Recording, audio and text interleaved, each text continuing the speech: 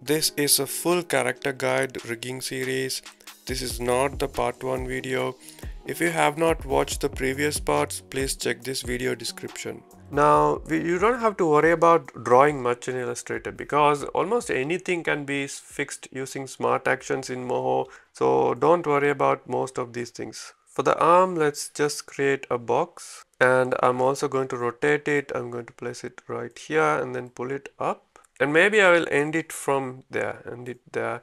And so as for the other side let's do this. But before that I'm just going to delete because I want what I want is these two to be less smaller okay. The top one to get that look of a proper arm I'll rotate it and then I'll put it to the other side as well. And we can just keep it straight. Keep it straight. Don't rotate. We can rotate it in moho but now we are not going to do the rotation. And if you want you can just select this and make it a little bit bigger too to fill that. Okay. The height and all I'm not really sure. I will fix it later. Now we have to create that neck. So get that brush tool and create a huge circle like this I'd messed it here so let me do it again. So I'm just doing this going around and finally letting it go there. And that's not bad but I feel like it should be more rounded. So I can select it right click on it and press simplify and try with this to see if I can make it more rounded. Yeah that's not bad. And or I can take these select these points and do something else with it yeah I want a flat look here with all right that's enough. Here it's fine I guess. Maybe here too you can make it more round. Don't worry the top won't be visible at all so let's not worry about it. Now for the head you can create a circle like this see? A shape like this. So we will take that tool and this is going to be a bit difficult. I'm also thinking I want to increase that smoothness a lot. So I'll just increase it and press OK and then start to create the head. Maybe I'm making a mistake. Did I? Bad not bad. Yeah it's not that bad. So I'll only fix it here. This part I'll just put it there. now if you want to close these two you can select them or put them on top of each other. Select them and press ctrl J. And once you press ctrl J they are closed. As you can see now I can just move. They are closed because I press ctrl J and here it's not smooth so I'll take the smooth tool and click like that to create that smooth look. Okay, for the hair as you can see since this is generated by AI this hair is weird. And the problem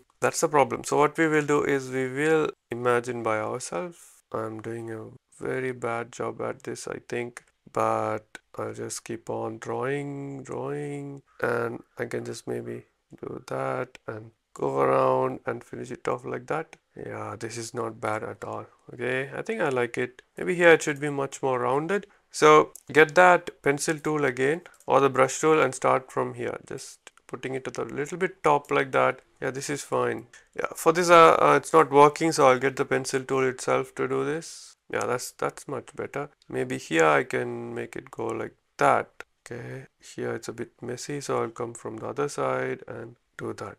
I'm not sure if I fixed it correctly because all of this image image in the background is disturbing. I'll come back to it later and do the fixing later. Now let's focus on the ear it's you just draw the ear like that. Whatever you draw try to draw it fully. For an example don't do this. So the hair is getting cut I mean the ear is getting cut for the hair. It's okay. You just draw a full ear. What you think is the full ear draw and finish it off that full full ear and then give that line okay? Because when we do the head turn and all it's going to be a lot easier that way. All you can do is take the hair on top. That fixes the problem too. And and I'm also thinking if I can duplicate the same thing to the other side that will help too just like that. And finally you just trace that eyes okay and put it to the other side as well. And I'm just going to trace the nose. This type of nose is very easy to do the animation so I like it. Something like that is good. So the mouth also is very simple luckily. But we have to of course create many versions of the mouth to create that lip sync. Let's do that later. But for now this is enough. I'm not going to draw the hair below here. That's no need. Now let's unlock that and let's keep it to a side. And now it's time to apply the color now for the skin this one the ear that ear all of the skin you select including the neck and press that eyedropper tool and add that white. Okay now I have just added white. If I move out you will realize I have added white. And for the hair we will just add that black. So I'll select that ear and send it to the back. So as this ear yeah I'll send it to the back. And we will decide if we want to connect it like this later but for now I'm thinking I will also convert this this and this to be that yellow color. And these two should go to the back like that and these two should go to the back too just like that. And this one should have blue. And see if it's tall enough see if he is tall enough. I think I will make him a bit more taller and then make it more straight this leg more straight and put it. And I'm also thinking if I take a copy before that yeah if we take a copy so if I flip this and when I put it together see this is a problem because this is lot wider. Only if we stretch the legs you can get a proper look but that's a problem. So what we will do is we will do like this select that do like that and and we want this to move down okay? The v part here okay this should be more down. So you do it until that comes to the correct place. Do it a little bit to that do it a little bit to this. And i think this is this is fine right? Yeah don't do it too much. Yeah. Now okay now even though it looks weird now okay. Right when I duplicate it is not that cool. But here also the same thing. It's okay fine. It doesn't have to come down. I think this is fine. And this leg seems to be a little bit taller. I think maybe you can make it shorter on my original one how about it? Yeah it's a lot I, I feel like it's lot lot taller like compared to the arms. No I think this is fine. I just made it a little bit tall. And then let's fix the shoe but before that this has to go a little bit down. Remember it has to go a little bit down like that and this maybe like that. So trying to place the shoe and see if it looks okay not bad at all. Now duplicate that put it a little bit down and I'm also going to rotate it a bit I guess like that and it goes a little bit down. I think this is not bad okay? Yeah not bad at all. Now for these two it doesn't have the same outline thickness so I'll give the same outline thickness as well. So you can if you look at this this one's outline thickness is 1 that one I'll just it's more than 1 but why it's not big not bigger? That is because that's a different type of a stroke compared to this. This is a brush stroke that is a shape stroke. So on a situation like this you will have to select everything okay. And then see the ice is also selected. I don't like the uh, eye because that's the only one and only fill shape right? Everything else is a stroke including the hair. So I'll select all the strokes and go here and maybe change it to that first and then come back to this again. Now you will see the even stroke has been applied to everything. That's good because now everything looks even. So if you face this problem you this is how you fix it so look at this I have decided to put the hair up a lot. It's it's a design choice nothing else. Maybe you can put one more up or you can completely do this some, something like that. And I think how he is now is not bad at all right? Here it's a lot round here it's a lot flat but let's think of it like a design choice and let's leave it like that. And we need two hairs like this to the other side so you can just draw them. So let's get that outline and draw one here and another one here. Because we are going to animate it so let it be a stroke. So here as you can see near the shoulder right right here there is this line. Okay we are not going to hide that line because we are going to use a moho to do that because using moho I can uh, remove that edge easily. So I'll use moho to remove that line stroke line that I'm talking about. The final thing that is left is the hand so this one I didn't draw okay? I don't even remember how I did this. I did this I drew this long time back. I think almost one week ago I did this. I usually don't draw hands. Instead I copy them. So what I usually do is I go to Google and search for hands of other characters and then I easily trace. So for you you don't have to Google because now you can take a screenshot of this and you can start tracing this so I'm not going to trace and wait because I have already done it but you're going to trace it. Right let's give that same amount of stroke thickness and remember you will have to select everything and do again. Or one more thing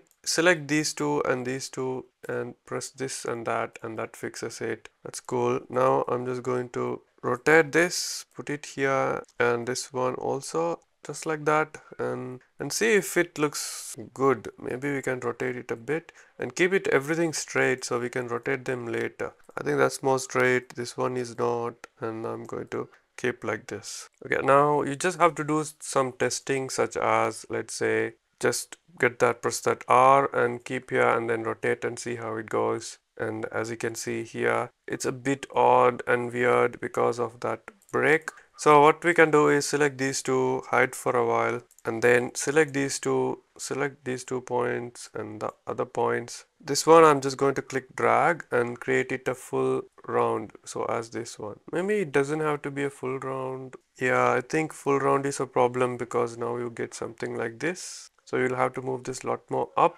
and now when you rotate and yeah it's not that bad. Also if this also a full round that will be helpful. So re remove that opacity down and then put it a little bit more up and see if you can make this a completely stuck circle or something right? For the other side as well I'm just going to put that opacity down and do something like this. Put way too up. So when I do that rotation it is going to help me. So when I put that up here and this one. See it's much better. Yeah that's good. And one more thing while the opacity is reduced you need to create a guide point here so that you can exactly place the bone on top of this point. So better to start this on that on the software itself. So I'm just going to take that guide circle and I'm going to make sure it is red color or something. And then now it's all about it's up to you to move it here and there to, to find the exact center and place it so I'm thinking somewhere here might be the center. So I'm just going to place it there. Or another option is that while you while you select this and when you press A to get the direct selection tool you will see a point, a circle that is mostly where this is supposed to go but since the other one is not a proper circle that's another problem anyway let's put it up now maybe I can put this little more up also to fix this even more. Yeah I think now when we do that rotation it will be much better. See just perfect right? It is not noticeable. See here also I'm talking about this curve. See it's just so perfect. And when I do other way around and see here a little bit getting cut coming out all of this nothing to worry not visible right? Not dust drastically visible. So that's how I find that point and now let's do the same thing for the side as well okay? Let this be tiny maybe it can be not so tiny maybe a little bit more bigger. Yeah something like that is fine fine. Now on the other side as well select this. First I'll bring that point to this side okay? Now what you can do is select this one press a see if they are aligning. No. So again select that a moving it here selecting this and pressing a moving it a little bit down and then and that's okay that's okay i'm happy with that result. And now move this up a little bit until you feel like this is a proper circle. And not only that you will have to do the testing. You will have to you know do this and see do that and see if it breaks anything no right it just rotates properly. So i'm going to fix it with it. Also this one has increased the opacity back. So as a guide we need that point this point and see how i have guessed where the elbow is going to be and i have drawn a line okay? So you just have to imagine like see the whole body and get that pencil tool or brush tool and you just think if he bends where will his elbow be? It's going to be somewhere here right will he will it be here? No it will be somewhere here. Also here it is it's going to be there too. So it's close as a guideline you can keep. I think i'm going to just guess okay? So just guessing guessing guessing. Maybe here would be fine. On this side here would be fine. So two lines so i'm just selecting them and i'm just converting them to red line as my guideline. And here too so for the knee, I'm thinking you just have to imagine this is not possible. Just you just have to imagine like that. If he bends, that should be okay. Maybe a little bit more down there, and here also somewhere like this would be fine. Yeah, just just think of it and do it. Now keep in mind this is just a cartoon character so nothing to worry about. Now you just have to select the whole head without the neck and then just rotate and see how it goes. See not bad not bad. I can do this I can do that. And even if I do 360 it will be okay. But uh, we don't do 360 you got the idea but the whole thing right now you can do like this. That's not bad. And this is a bit incorrect